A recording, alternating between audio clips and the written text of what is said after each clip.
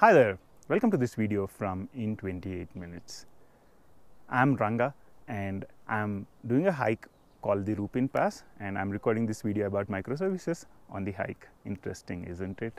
Okay, in this video we would be talking about two different things about a microservice. Any microservice needs to be able to do these two things very well to be able to call a microservice. What are those? The first one is micro plus service, small component, small independently deployable components.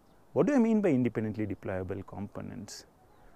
When we talk about independently deployable components, we are talking about small components which you can take to production or to, which you can take live without affecting a lot of other components.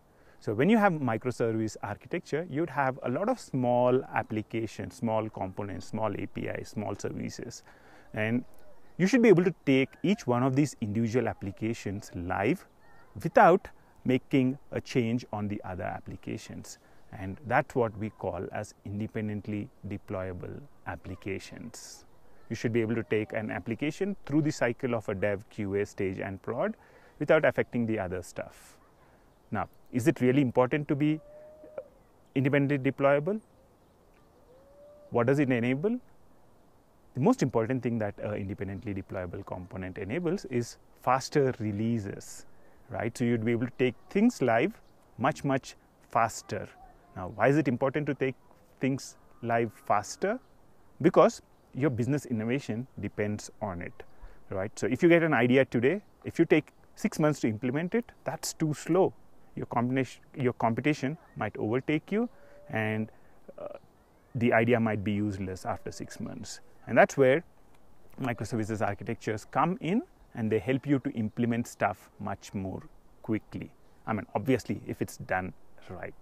That's the first part about microservices independently deployable small components. The second thing about microservices is all related to the buzzword of the last decade or so cloud. Why is cloud important? Because loads on the applications vary throughout the year. It's not that I would have the same load on the application starting from January to December. The load on the application varies. And if you are, let's say, a typical online shopping application, then you would have a lot of load during the Thanksgiving day.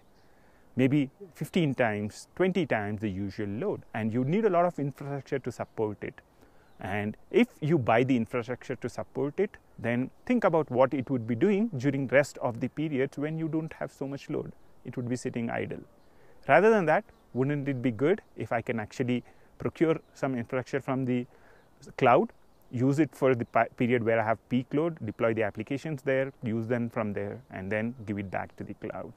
So that's what microservice architectures also enable. So there we go. Those are the two important things that are related to what is a microservice question.